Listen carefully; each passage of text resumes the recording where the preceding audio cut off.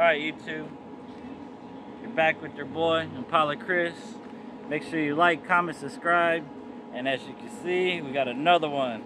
We're bringing you and hopefully can get back to the streets. I know this is probably the first time you've seen one of these on my channel. It's a 65.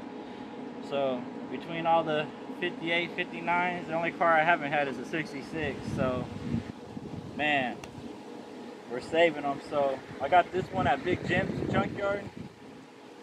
This is the last two-door Chevy out of this yard. So I couldn't just leave it there, man. I got a soft spot for these cars, and I knew it was the last two-door Impala there, so we can see what it can do. But man, it is for sale and needs a home. Yeah, most importantly about this thing, uh, the frame's solid, front to back. Uh, it does need floor pan put in it, but the trunk's all there. The rockers are all there.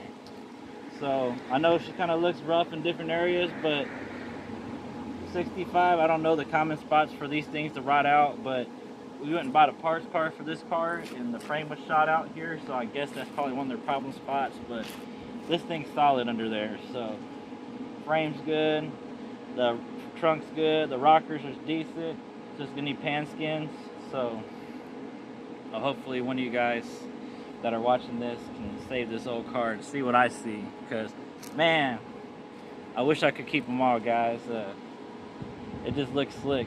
I just never had one of these, and the way the tail lights look and the rear end, and they just look slick. I can picture this thing rolling midnight blue with the light sky blue inside. So I know I'm rambling on, so let's get what you guys came to see.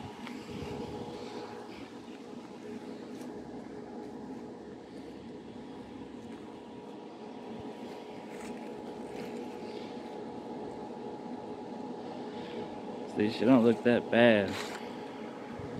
We'll do a walk around first, guys.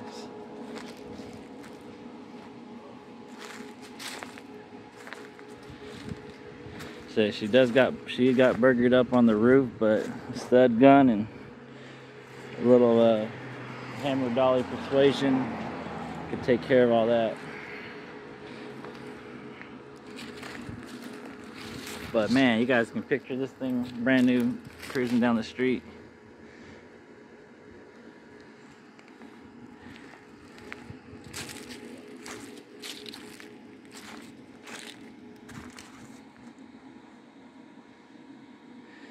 got the show me state license plates on there but see I know this trunk has some uh, rust around the lip right here I kept the parts trunk uh, for repair so it can repair all this so it should be able to be used to piece in and graft in whatever parts you need to do to refix this trunk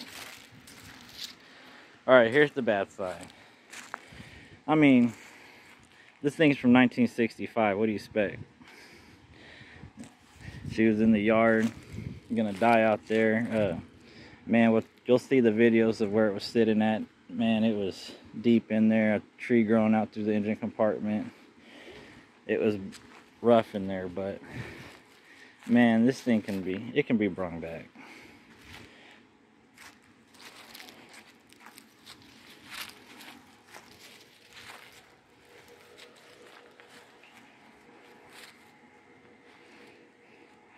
So she got rust in the roof lip.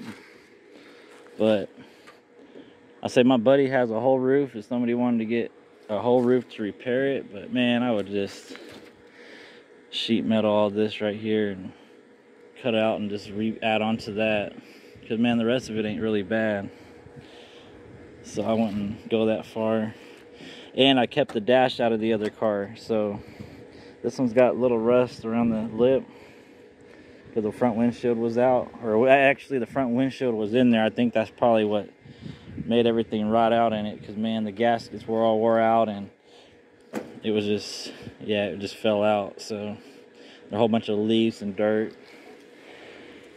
But it's fixable guys because man if i fix my beat up convertibles that are way worse than this this thing is should be a breeze. And I hope you guys would take on a project like this with you and your kids because man, I understand people want show cars and stuff, but man, uh, you're trying to teach the younger generation about fixing these cars up. That's what this is about. Trying to keep them interested, because man, you don't let your kids touch your guys' cars and let them work on it and let them learn. Man, they don't want nothing to do with that car. That's that car my dad or my mom had that I could never touch. And they spent more time with it than them than me. Then they don't want the car. So just make sure they're involved. Get them to be in there with you working on this thing. Get a beat up car and let them put in work, some ideas, paint colors.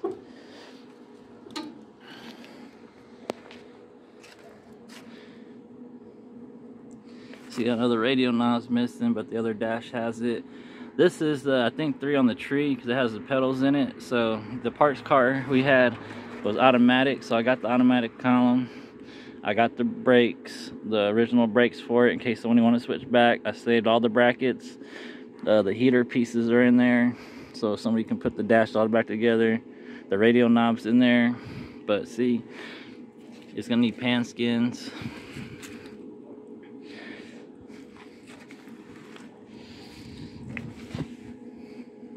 But underneath the back seat is solid. And all the way in the trunk solid, so luckily all that survived. It's missing the piece up here, but I mean, if somebody really, really needed me to find one, I probably could get it, but it's gonna cost a little bit of money to get it. And I'm just trying to get rid of the car as is, so maybe somebody has something that's in a little bit worse shape than this car that needs this car to complete their car. Who knows? But I want you to look at these rockers. I mean, they're in decent shape for being this old.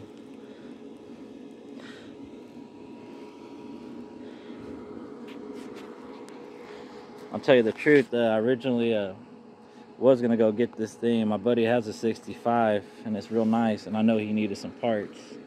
And I was just gonna, hey, just dig this thing out, let him go get the parts. But after I seen how solid it was, I was like, man, nah, we can't do that to this car. Cannot do it to this car.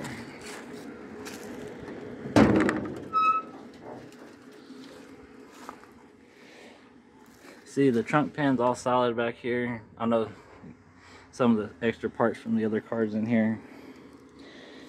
The power steering, uh, the pieces for the rear end, just extra little knick-knack parts here and there. Some of the parts won't fit in, so we got the column that goes with it.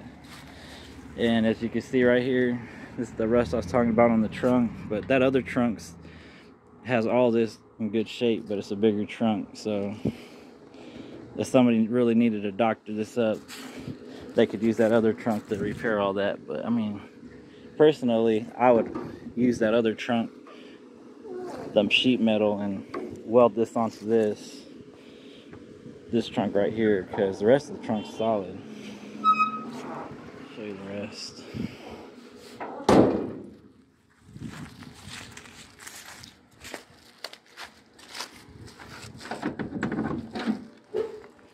See, VIN number's intact right there. Doors all open. This rocker still has a chrome piece on it. I'm not going to try to pop that off.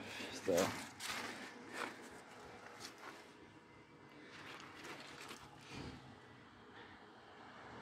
Nineteen oh eight.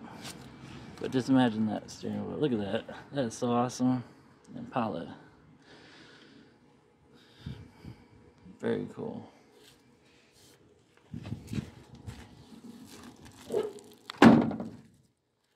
let's check out underneath the hood.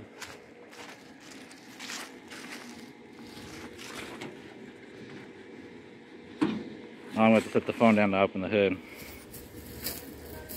Alright, man. It took me a screwdriver and two hands to get this thing open. I'm not used to opening 65 uh, hoods, but 283 and it's got an automatic Powerglide so I kept all the linkage for whoever gets it so they can hook all that back up to the original. But as far as me going with this car, I'm done with it. I know it needs a little bit of work around the edges right here. But trying to point out all the little bad spots, but I mean it ain't nothing really major.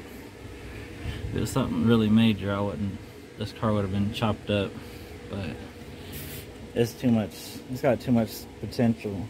And actually I think this motor could run if somebody really tried to get at it because man the car I took the parts out of uh, actually kind of looked like the motor could run. So some tinkering and you and your friends or you and your brother or you and your kids.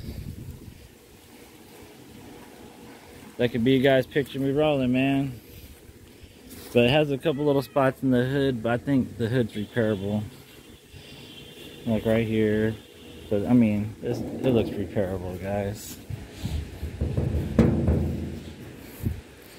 But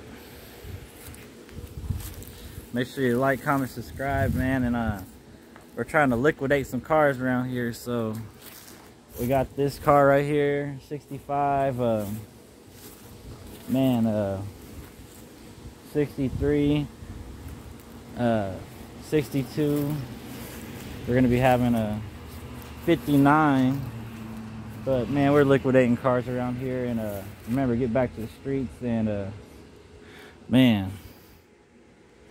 I hope you guys when you guys take this thing home.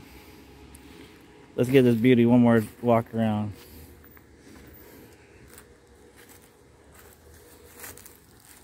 In the middle of the junkyard in the middle of missouri.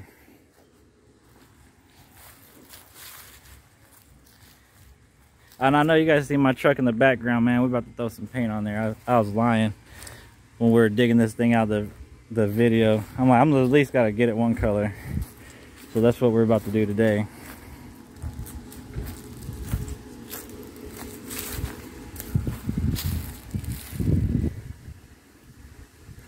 Bam. Sitting in your driveway, guys. Or if not, you guys just came to look. That's fine with me too, man. I like looking at them like this.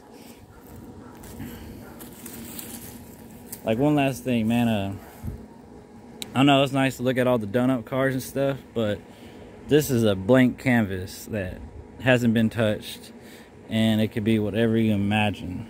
So these cars these cars get my attention more than the fixed up cars because man you can put whatever you want whatever your flavor is and make that your masterpiece. So to me these are blank canvases I mean, if you try to buy somebody's car that's halfway done, it's kind of you, they already got a vision for the car, man. You would have to really regut something and restore it, and it's just it's not as exciting to me starting like this. But I know not everybody's capable either. But no, no, rambling on. Let's kill this video. But like, comment, subscribe, and remember, get back to streets, baby.